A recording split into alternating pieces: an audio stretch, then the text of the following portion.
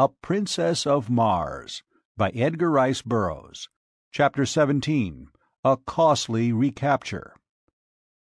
As the speaker ceased, he turned to leave the apartment by the door where I was standing, but I needed to wait no longer. I had heard enough to fill my soul with dread, and stealing quietly away, I returned to the courtyard by the way I had come. My plan of action was formed upon the instant and crossing the square and the bordering avenue upon the opposite side, I soon stood within the courtyard of Tal Hajus.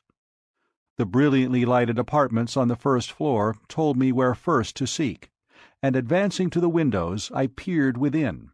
I soon discovered that my approach was not to be the easy thing I had hoped, for the rear rooms bordering the court were filled with warriors and women. I then glanced up at the stories above, discovering that the third was apparently unlighted, and so decided to make my entrance to the building from that point. It was the work of but a moment for me to reach the windows above, and soon I had drawn myself within the sheltering shadows of the unlighted third floor. Fortunately, the room I had selected was untenanted, and creeping noiselessly to the corridor beyond, I discovered a light in the apartments ahead of me. Reaching what appeared to be a doorway, I discovered that it was but an opening upon an immense inner chamber which towered from the first floor, two stories below me, to the dome like roof of the building, high above my head. The floor of this great circular hall was thronged with chieftains, warriors, and women, and at one end was a great raised platform upon which squatted the most hideous beast I had ever put my eyes upon.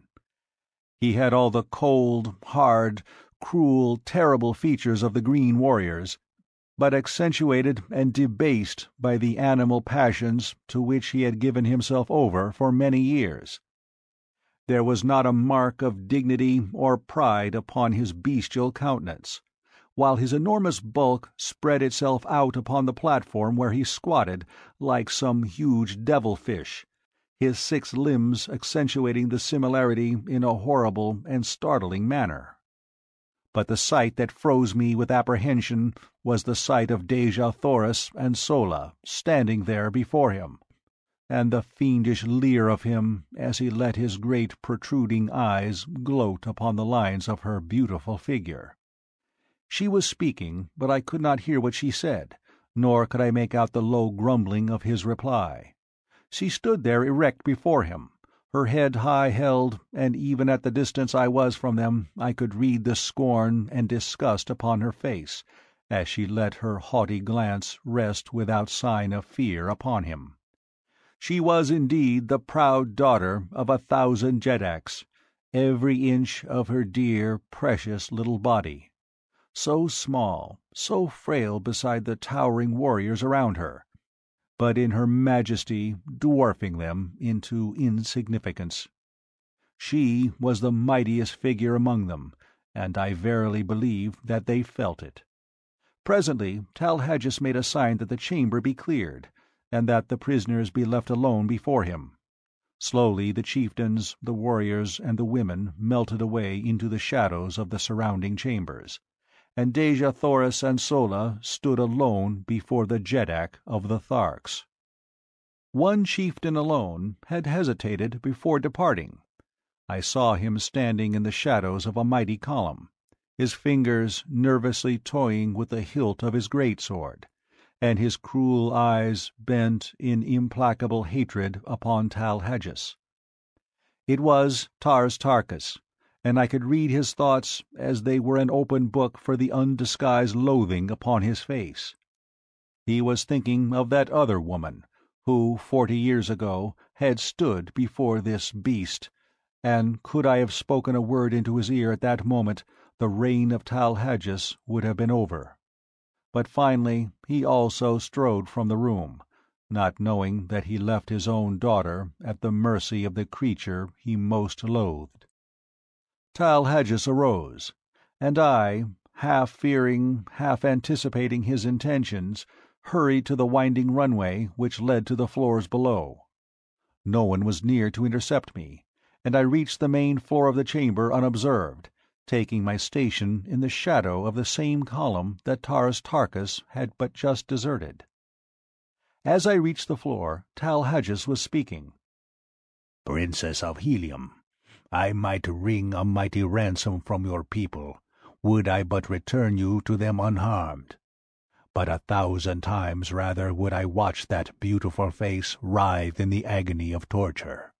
It shall be long drawn out, that I promise you. Ten days of pleasure were all too short to show the love I harbor for your race. The terrors of your death shall haunt the slumbers of the red men through all the ages to come. They will shudder in the shadows of the night as their fathers tell them of the awful vengeance of the green men, of the power and might and hate and cruelty of Tal Hajus. But before the torture you shall be mine for one short hour, and the word of that too shall go forth to Tardos Mors, Jeddak of Helium, your grandfather, that he may grovel upon the ground in the agony of his sorrow. Tomorrow the torture will commence. Tonight thou art Tal Hajus. Come. He sprang down from the platform and grasped her roughly by the arm but scarcely had he touched her than I leaped between them. My short sword, sharp and gleaming, was in my right hand. I could have plunged it into his putrid heart before he realized that I was upon him. But as I raised my arm to strike, I thought of Tars Tarkas, and with all my rage, with all my hatred, I could not rob him of that sweet moment for which he had lived and hoped all these long, weary years and so instead I swung my good right fist full upon the point of his jaw. Without a sound he slipped to the floor as one dead. In the same deathly silence I grasped Dejah Thoris by the hand, and motioning Sola to follow, we sped noiselessly from the chamber and to the floor above.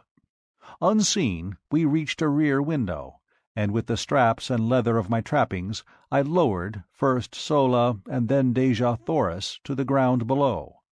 Dropping lightly after them, I drew them rapidly around the court in the shadows of the buildings, and thus we returned over the same course I had so recently followed from the distant boundary of the city.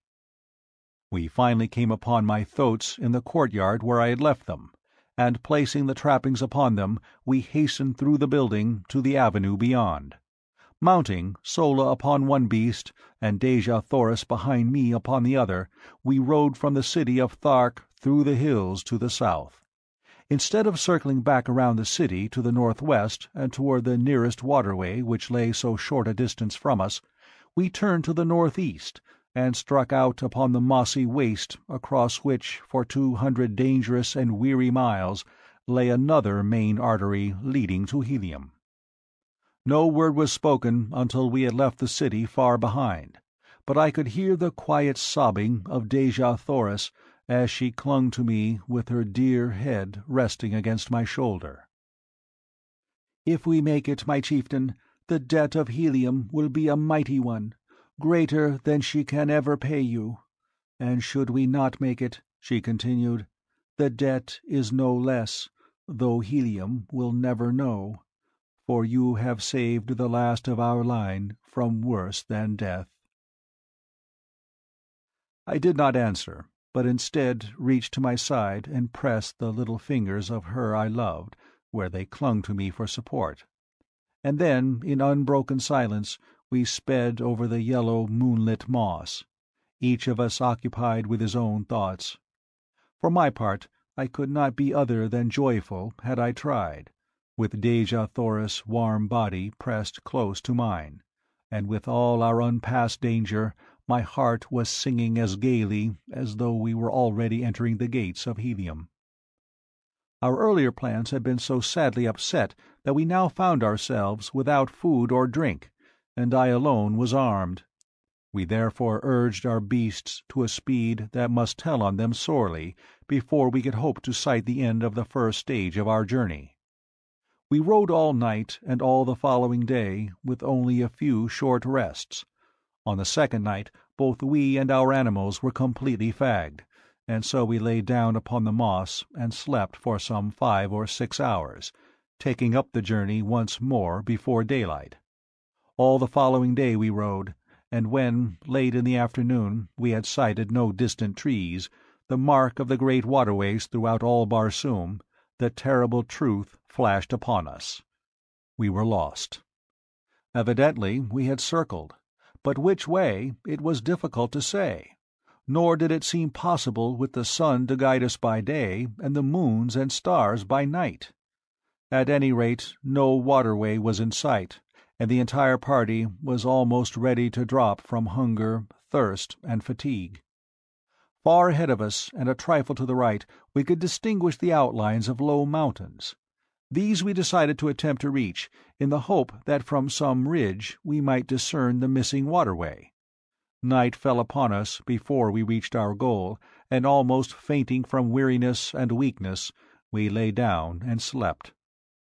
I was awakened early in the morning by some huge body pressing close to mine, and opening my eyes with a start I beheld my blessed old Woola snuggling close to me. The faithful brute had followed us across that trackless waste to share our fate, whatever it might be.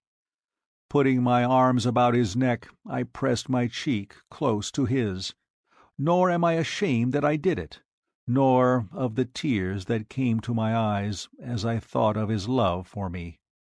Shortly after this Dejah Thoris and Sola awakened, and it was decided that we push on at once in an effort to gain the hills. We had gone scarcely a mile when I noticed that my thoat was commencing to stumble and stagger in a most pitiful manner, although we had not attempted to force them out of a walk since about noon of the preceding day.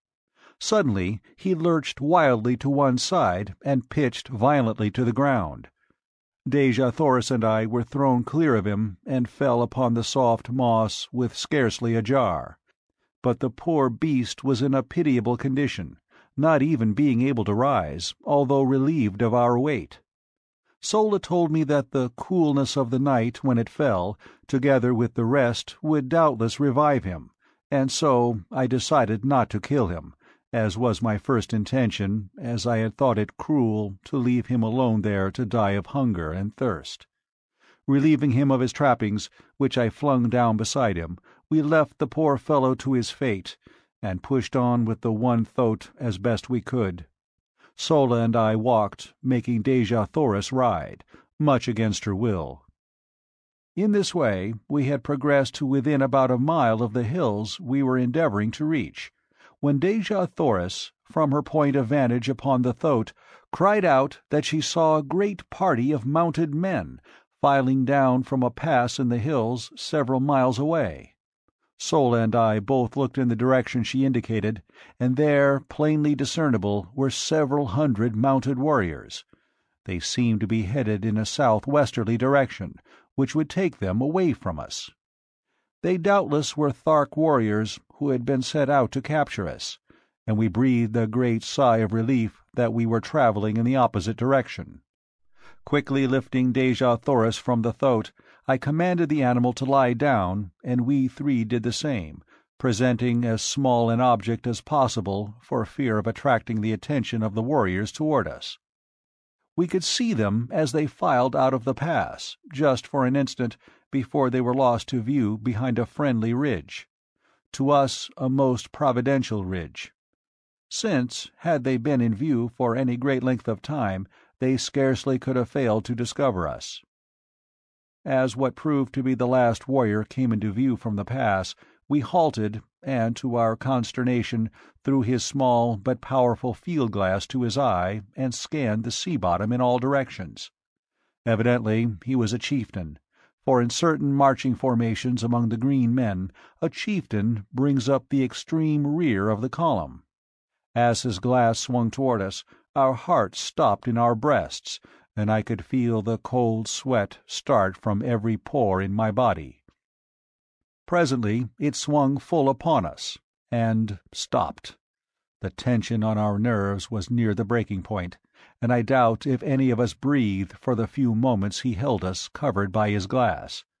and then he lowered it, and we could see him shout a command to the warriors who had passed from our sight beyond the ridge. He did not wait for them to join him, however; instead he wheeled his thoat and came tearing madly in our direction. There was but one slight chance, and that we must take quickly. Raising my strange Martian rifle to my shoulder, I sighted and touched the button which controlled the trigger. There was a sharp explosion as the missile reached its goal, and the charging chieftain pitched backward from his flying mount. Springing to my feet, I urged the thoat to rise, and directed Sola to take Dejah Thoris with her upon him and make a mighty effort to reach the hills before the green warriors were upon us. I knew that in the ravines and gullies they might find a temporary hiding place, and even though they died there of hunger and thirst, it would be better so than that they fell into the hands of the Tharks forcing my two revolvers upon them as a slight means of protection, and as a last resort, as an escape for themselves from the horrid death which recapture would surely mean, I lifted Dejah Thoris in my arms and placed her upon the thoat behind Sola, who had already mounted at my command. "Good-bye, my princess," I whispered. "We may meet in Helium yet. I have escaped from worse plights than this and I tried to smile as I lied. "What!" she cried. "Are you not coming with us?" "How may I, Dejah Thoris? Someone must hold these fellows off for a while, and I can better escape them alone than could the three of us together." She sprang quickly from the thoat, and throwing her dear arms about my neck, turned to Sola, saying with quiet dignity, "Fly, Sola. Dejah Thoris remains to die with the man she loves. Those words are engraved upon my heart. Ah, gladly would I give up my life a thousand times could I only hear them once again. But I could not then give even a second to the rapture of her sweet embrace, and pressing my lips to hers for the first time, I picked her up bodily and tossed her to her seat behind Sola again, commanding the latter in peremptory tones to hold her there by force, and then, slapping the thoat upon the flank, I saw them borne away, Dejah Thoris struggling to the last to free herself from Sola's grasp. Turning, I beheld the green warriors mounting the ridge and looking for their chieftain. In a moment they saw him, and then me. But scarcely had they discovered me than I commenced firing, lying flat upon my belly in the moss. I had an even hundred rounds in the magazine of my rifle, and another hundred in the belt at my back, and I kept up a continuous stream of fire until I saw all of the warriors who had been first to return from behind the ridge either dead or scurrying to cover. My respite was short-lived, however, for soon the entire party, numbering some thousand men, came charging into view, racing madly toward me. I fired until my rifle was empty and they were almost upon me. And then a glance showing me that Dejah Thoris and Sola had disappeared among the hills, I sprang up, throwing down my useless gun, and started away in the direction opposite to that taken by Sola and her charge. If ever Martians had an exhibition of jumping, it was granted those astonished warriors on that day long years ago but while it led them away from Dejah Thoris, it did not distract their attention from endeavoring to capture me. They raced wildly after me, until, finally, my foot struck a projecting piece of quartz, and down I went sprawling upon the moss. As I looked up they were upon me, and although I drew my long sword in an attempt to sell my life as dearly as possible, it was soon over. I reeled beneath their blows, which fell upon me in perfect torrents. My head swam, all was black, and I went down beneath them to oblivion. Chapter 18 Chained in Warhoon It must have been several hours before I regained consciousness, and I well remember the feeling of surprise which swept over me as I realized that I was not dead. I was lying among a pile of sleeping silks and furs in the corner of a small room in which were several green warriors, and bending over me was an ancient and ugly female. As I opened my eyes she turned to one of the warriors, saying, "He will live, O Jed." "'Tis well," replied the one so addressed, rising and approaching my couch. "He should render rare sport for the great games."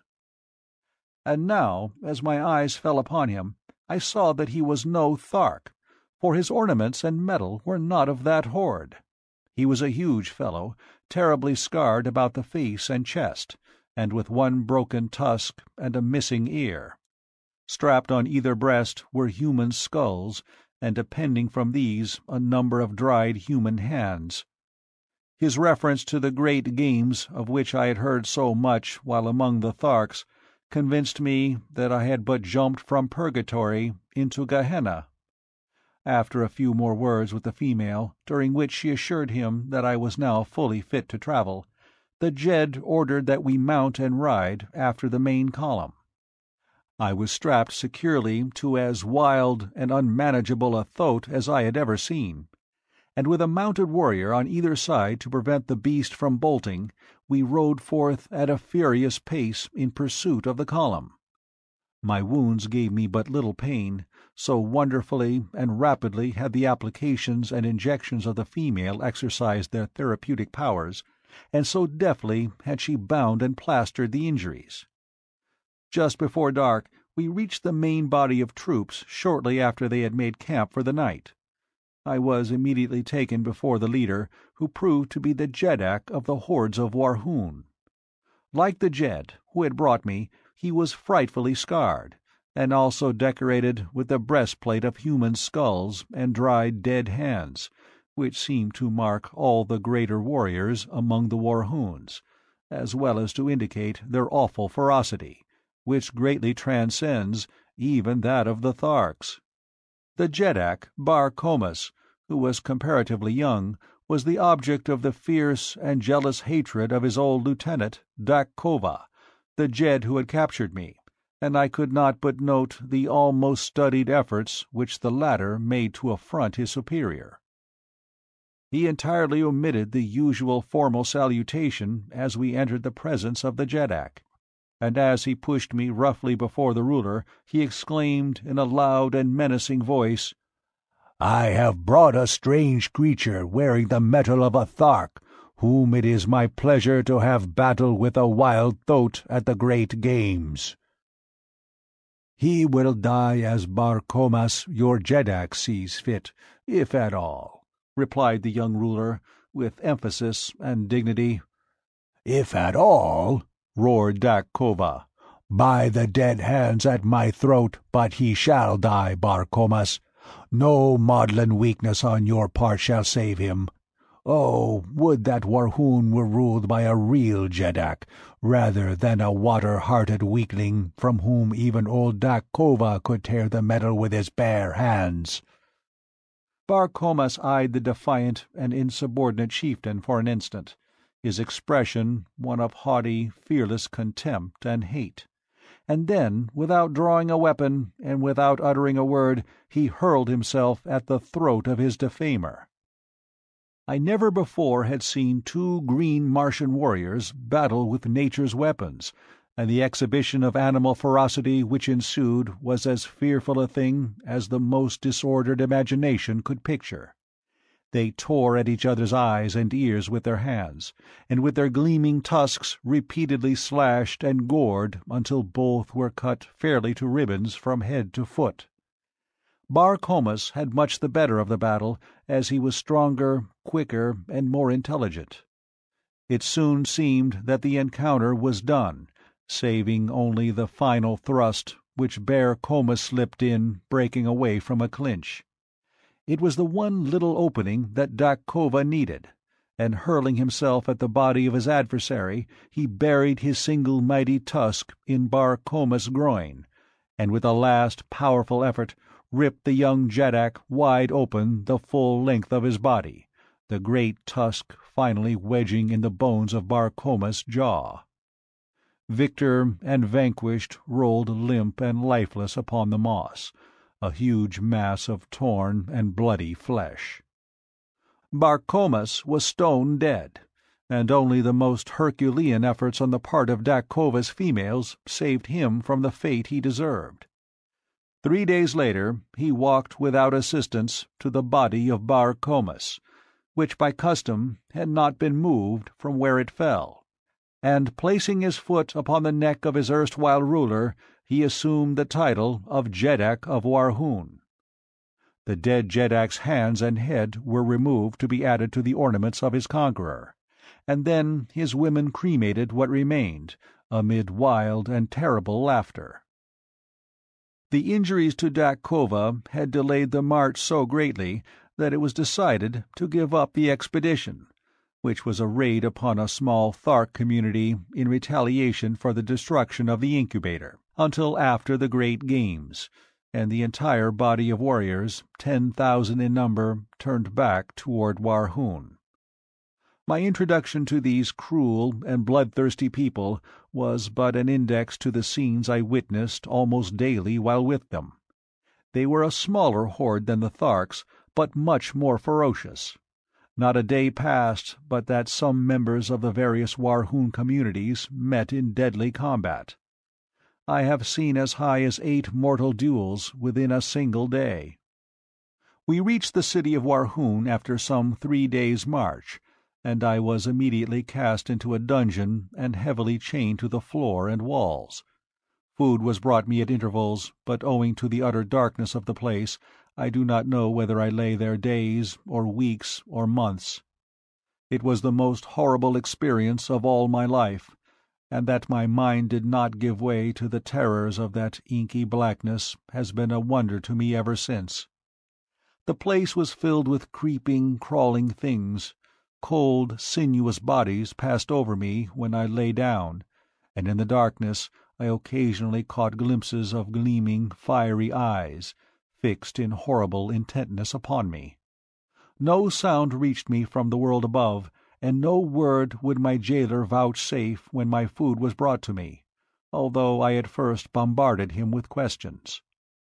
Finally, all the hatred and maniacal loathing for these awful creatures who had placed me in this horrible place was centred by my tottering reason upon this single emissary who represented to me the entire horde of Warhoons. I had noticed that he always advanced with his dim torch to where he could place the food within my reach, and as he stooped to place it upon the floor his head was about on a level with my breast. So, with the cunning of a madman, I backed into the far corner of my cell when next I heard him approaching, and gathering a little slack of the great chain which held me in my hand, I waited his coming, crouching like some beast of prey. As he stooped to place my food upon the ground, I swung the chain above my head and crashed the links with all my strength upon his skull. Without a sound he slipped to the floor, stone dead. Laughing and chattering like the idiot I was fast becoming, I fell upon his prostrate form, my fingers feeling for his dead throat. Presently they came in contact with a small chain at the end of which dangled a number of keys. The touch of my fingers on these keys brought back my reason with the suddenness of thought. No longer was I a gibbering idiot, but a sane, reasoning man with the means of escape within my very hands. As I was groping to remove the chain from about my victim's neck, I glanced up into the darkness to see six pairs of gleaming eyes fixed, unwinking, upon me. Slowly they approached, and slowly I shrank back from the awful horror of them. Back into my corner I crouched, holding my hands palms out before me, and stealthily on came the awful eyes until they reached the dead body at my feet. Then slowly they retreated, but this time with a strange grating sound, and finally they disappeared in some black and distant recess of my dungeon. End of chapter 18